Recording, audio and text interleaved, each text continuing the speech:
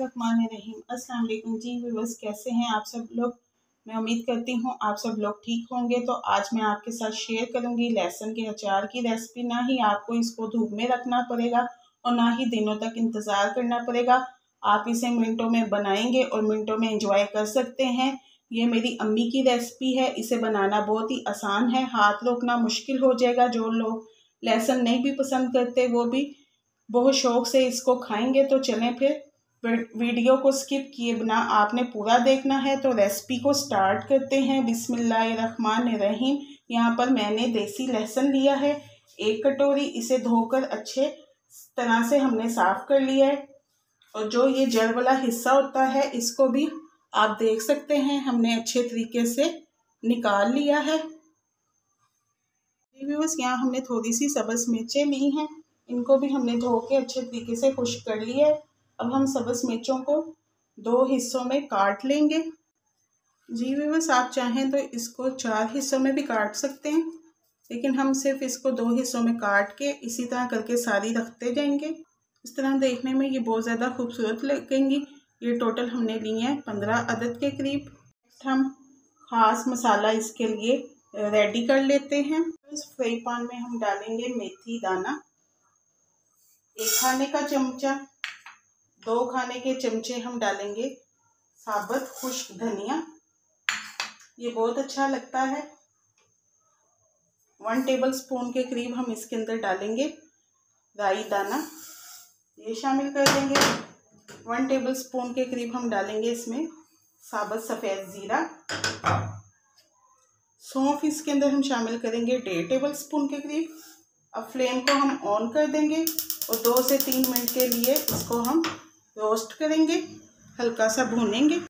हल्की आँच पर हम इसको रोस्ट करेंगे, जब तक इसके अंदर जो है हल्की हल्की सी खुशबू आनी स्टार्ट ना हो जाए।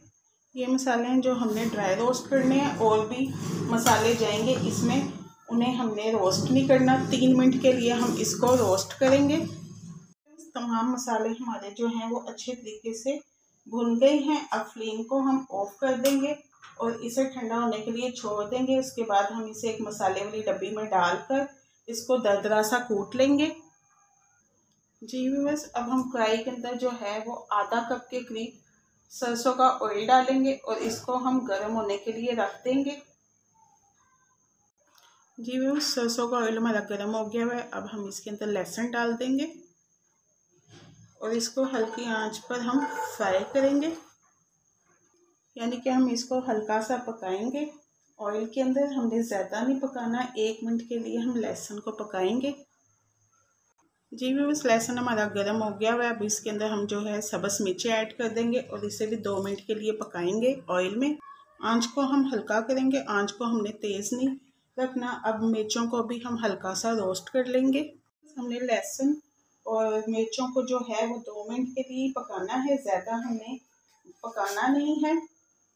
अब जो हमने मसाले बनाए थे, वो हम इसके अंदर ऐड कर देंगे। रहीम और इसको हम मिक्स करेंगे इसके अंदर। बस हमने इसको हल्का सा ही सोते करना है। ज़्यादा नहीं करना है, बस क्रंची पन सा होना चाहिए। तभी अचार अच्छा लगता है। जो मसाला बनाया था, वो हमने शामिल कर दिया है। अब हम इसके अंदर और मसाले ऐड करेंगे। हम इसके अंदर डालेंगे वन टेबल स्पून के करीब नमक ऐड कर देंगे। लहसुन के अंदर और साथ ही हम वन टीस्पून के करीब डालेंगे कुटी हुई लाल मिर्चें ऐड करेंगे। आधा चम्मच के करीब हम इसके अंदर हल्दी डाल देंगे और इसे भी हल्का सा मिक्स कर लेंगे। लहसुन और मिर्चों के साथ जी मैं सारी चीज़ों को हमने अच्छे तरीके से मिक्स कर लिया है। अब हम आखिर में डालेंगे इसके अंदर आधी चम्मच के करीब कलवंजी। कलवंजी को हमेशा हमने एंड में ही डालना है, वरना इससे अचार का कलर जो है वो तब्दील हो जाता है। इसे भी एक मिनट के लिए रोस्ट कर लेंगे कलवंजी को। अब हम आखिर में इसके अंदर डालेंगे सफ़ेद सिरका थ्री टेबल स्पून के करीब, और इसे डाल के दस सेकेंड के लिए हम इसके अंदर इसको पका लेंगे। जी में दस सेकंड के लिए हमने इसको पका लिया अब हम इसकी जो है फ्लेम ऑफ़ कर देंगे। ये देखें, झटपट सा हमारा अचार बनकर तैयार हो गया हुआ है। अब हम इसे ठंडा कर लेंगे। बस हमारा अचार जो है वो ठंडा हो गया हुआ है। अब हम इसे किसी भी एयर टाइट जार में डालकर रख लेंगे। वीडियो को देख लिया है पूरा तो चैनल को लाइक कर दीजिएगा। और चैनल पर नए हैं तो सब्सक्राइब्स भी कर दें। और नीचे प्यारा सा कमेंट भी ज़रूर कर दीजिएगा। मेरी अम्मी इसे ज़रूर बनाती थी और कहती थी कि इसके बहुत सारे फ़ायदे हैं, आप भी ज़रूर बनाइएगा, फिर मिलेंगे इन एक नई वीडियो के साथ। ओके, अल्लाह हाफिज़।